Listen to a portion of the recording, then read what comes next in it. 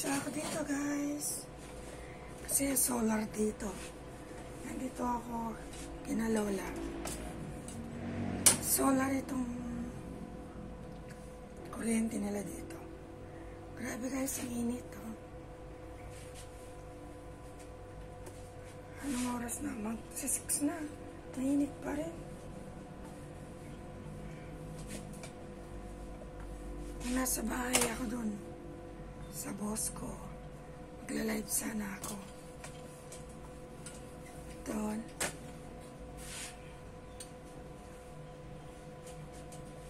Kiplancha ako dito. Para may ano sa kuryente. Ang ko guys. Init. Kaumpisa ko pa lang, nakadalawa pa lang ako. So marami-rami ng konti. Thank you my charity viewers. Thank you so much. Please don't skip the ads. Like, comment, and subscribe. Thank you so much.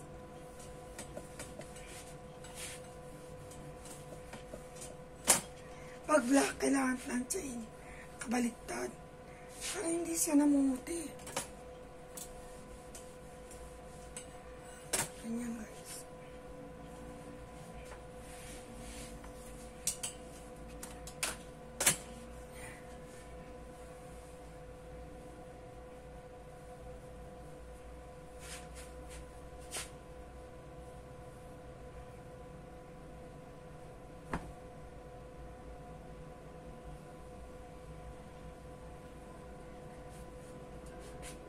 Konti lang dito. So,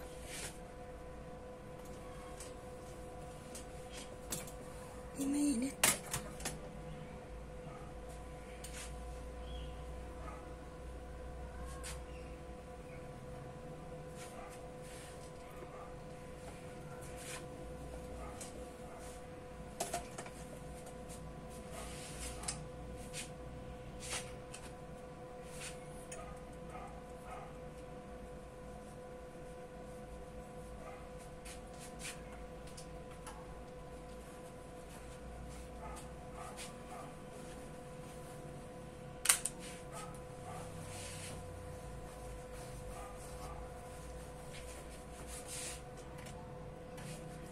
Yan ng OFW ng Pampanga. No?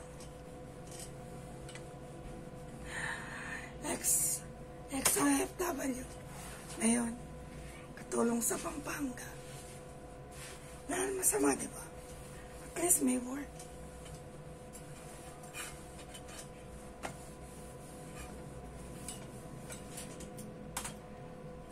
Kaysa nakatingga lang sa bahay. Di ba guys? Nahulog ang shirt ko. Tapos ko nga, nahulog siya. Thank you so much, my charity viewers. Yan, plancha-plancha lang. Pag may time. Please don't skip the hearts.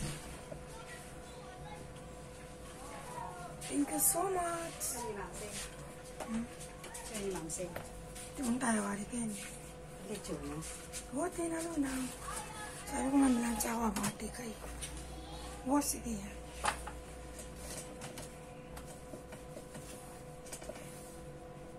Malinis naman aking bali.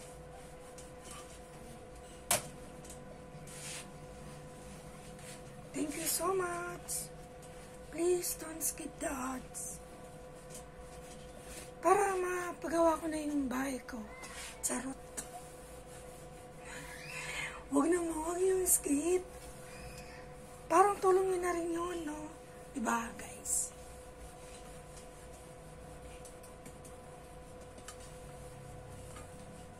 Para kahit paano, magsweldo ako. Diba, guys? Thank you so much. Yung hindi nag-skip ng ads. Thank you so much. Ayan, nakarami na ng konti. Kasi solar yung gamit dito guys.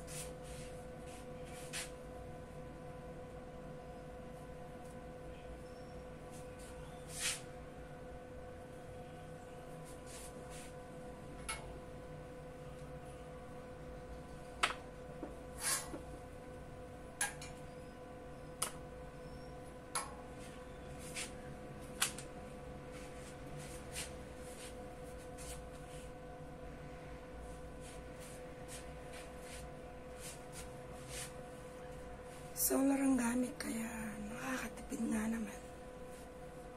Kaya dito ako namilansya. Kina Lola. Mami ni Bossy. Meron pala siyang pan-spray.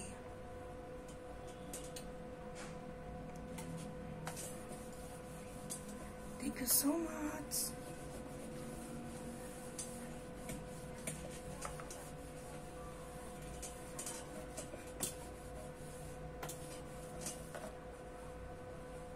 Shout out to everyone.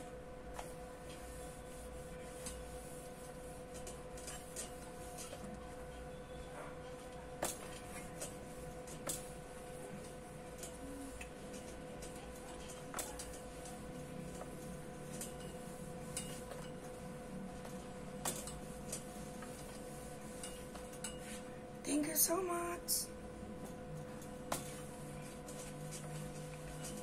mega, mega life shelter to my charity viewers.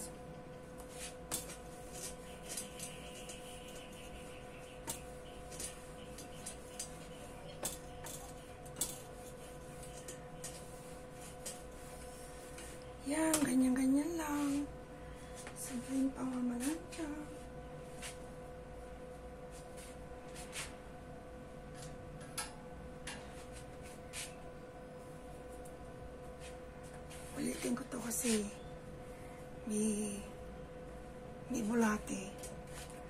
May panispray pala.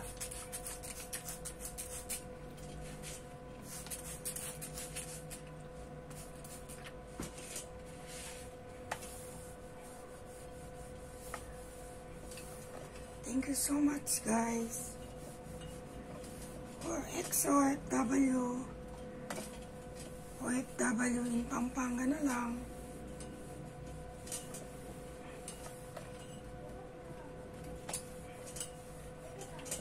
You so much.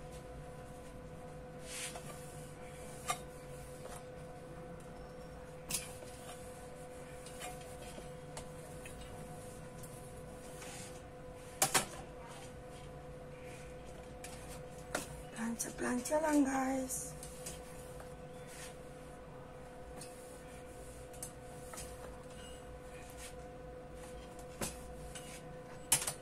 Thank you so much.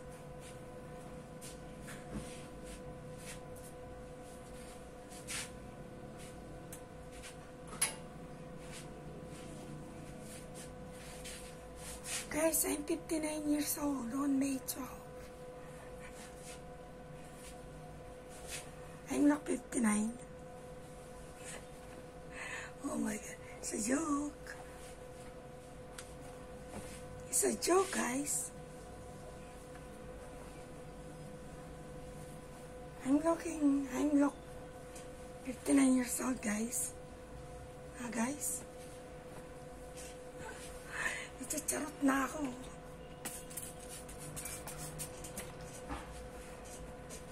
Kapatawa lang po ako. Good vibes lang po.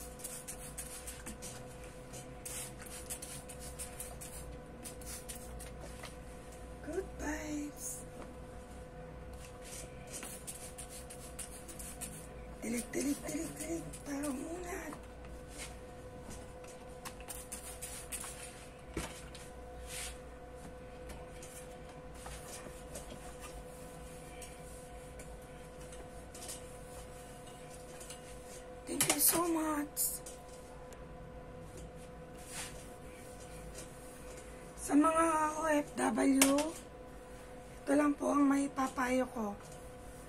Please, mag-ipon po kayo.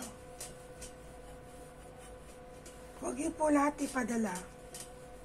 Sa mga humihingi, kundi po emergency, huwag niyong bibigyan. Mag- mag-ipon po, mag-ipon po, OFW. Mga OFW, salute ako sa inyo. Kasi galing na ako dyan eh. Kaya, mag-ipon po kayo. Hanggat maaari, mag-save po kayo. Mag-save po ng mag-save. Para pag umuwi kayo, magnegosyo na lang po kayo. At huwag nang balikan yung kagaya ng sa akin.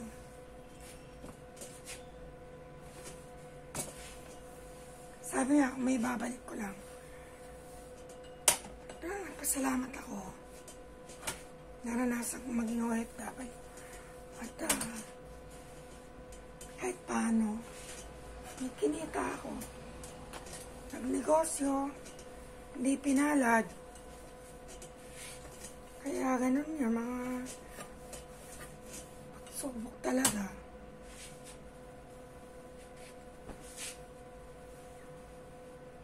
Kaya mag-ipon po mga OFW sa dako ng mundo. Saan man kayo naroroon. Lalo na yung mga OFW sa bahay. Please, mag-ipon po kayo. I salute you, OFW. Salute po ako sa inyo. Kaya mag-ipon lang po kayo. Huwag po bara-bara sa pera. Pag nasa iba, OFW po. Kasi naranasan ko po yan. Ngayon, OFW na lang ng Pampanga. Local. Local. OFW na lang ng Pampanga, guys. Kaya mag-ipon po kayo. Salute po ako sa inyo. Thank you so much. Thank you so much. I salute you, OFW. Saan man kayo panik ng mundo. Mag-save po kayo ng pera para pag gusto nyo nang umuwi, may negosyo po kayo. I salute you, OFW. Thank you so much. Please like, comment, and subscribe. Thank you. Ayan, nakarami na ako. Bye-bye. Bye-bye. Thank you so much.